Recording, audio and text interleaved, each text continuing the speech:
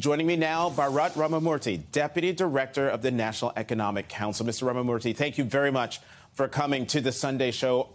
Now, I want you to clear something up for me. Earlier in the week, the New York Times and Punchbowl reported that negotiators were, quote, discussing a mechanism that would incentivize Congress to pass all 12 appropriations bills before the end of the fiscal year. Is that a part of the tentative agreement? Because this would be significant because it would put the budget discussions back into the budget process. Yeah, that's right. I, I, want to take a step back and just say uh, uh-huh. uh, we have an agreement in principle that accomplishes two two main things. Number one, it takes the possibility of a devastating default on our debt uh, off the table, something that would have done tremendous harm to uh, American finances, Americans' retirement accounts. And number two, this agreement uh, preserves the incredible progress that we've made on the economy over the last two years. Remember, over 12 million jobs created, uh, signature pieces of legislation passed in the last two years. All of those are preserved and locked in in this agreement. So, uh, to answer your specific question, uh, no, what this does is basically it resumes the, the normal uh, budgeting process. Uh, there's no uh, significant changes to that. It is a, a two year agreement uh, on spending caps, which again is a, is a very typical uh, conversation that you have when you have uh, divided government. So, in effect, this is a, an agreement that uh, resembles pr- prior agreements that we've had when there's been divided government. So the so the 12 appropriations bills that that particular process that's in this tentative agreement or or not another way was chosen just want to get that clear Yes, there are incentives here that if 12 appropriations bills are not passed, then certain procedures take in place to effectively have a, a, continuing resolution. But again, that is fairly consistent with uh, prior practice. Got it. Okay, so in short, the answer is yes. Mr. Ramamurti, why did the administration give on work requirements for some federal aid recipients?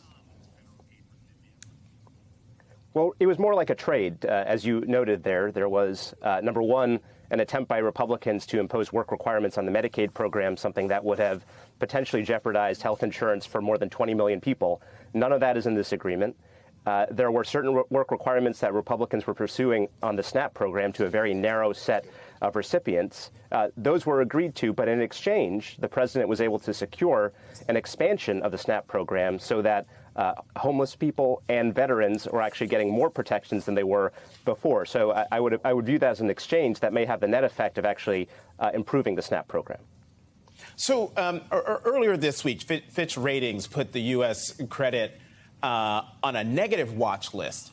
How will this tentative deal impact that?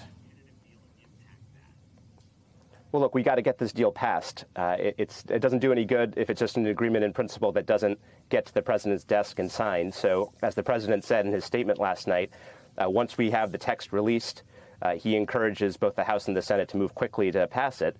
As you noted at the top of this segment, Secretary Yellen has said that June 5th is effectively the deadline here where the possibility of default becomes very real. We have a, a bunch of steps to do before then. So uh, as long as we get this bill passed through the House, passed through the Senate, and signed by the president in advance of that June 5th deadline, we should avert the consequences uh, that the rating agencies were talking about.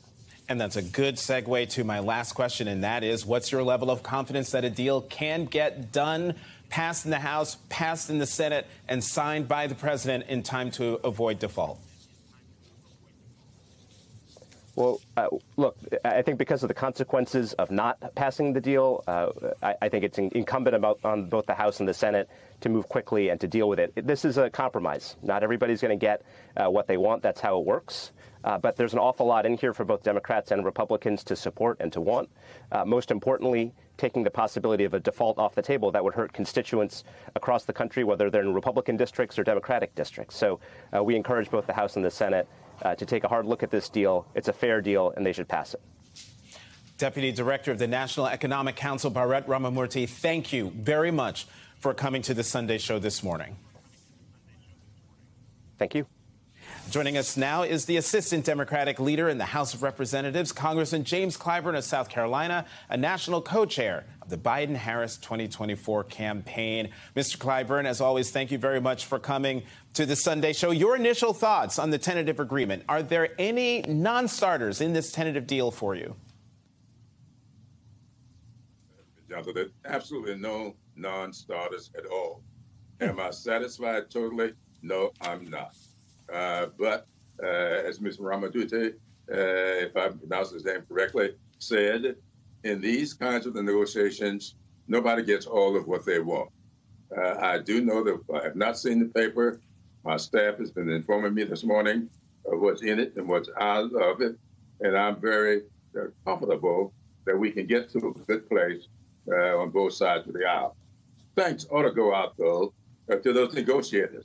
Uh, Shalanda Young, Steve Ricchetti, uh, Louisa Terrell have been great on our sides. I think that um, Congressman uh, McHenry and Graves uh, have done great work on the Republican side, and we want to thank them for the great work they've done.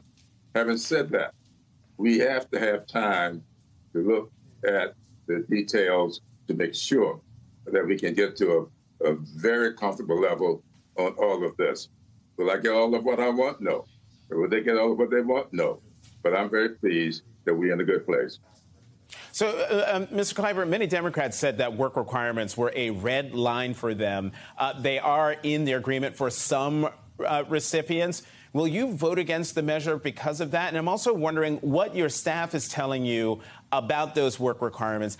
Are they as onerous as uh, Democrats have feared? Well, we were fearful uh, about that. But when you uh, move into so called able bodied requirement uh, from 49 up to 54, which is what I understand it is, and then you are uh, expanding, though, uh, for veterans.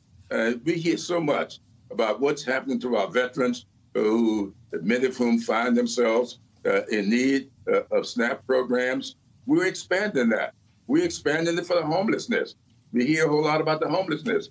But what Joe Biden has done, he's added more compassion than what we have, and at the same time, he has compromised on moving able-bodiedness from 45 to 54, and that phases out uh, about 2020. So that's a pretty good compromise. Though I would have loved to just let it stay at 49, but uh, if that's what he has to give to bring in more veterans, to bring in more of the homelessness, uh, I think it's a good deal.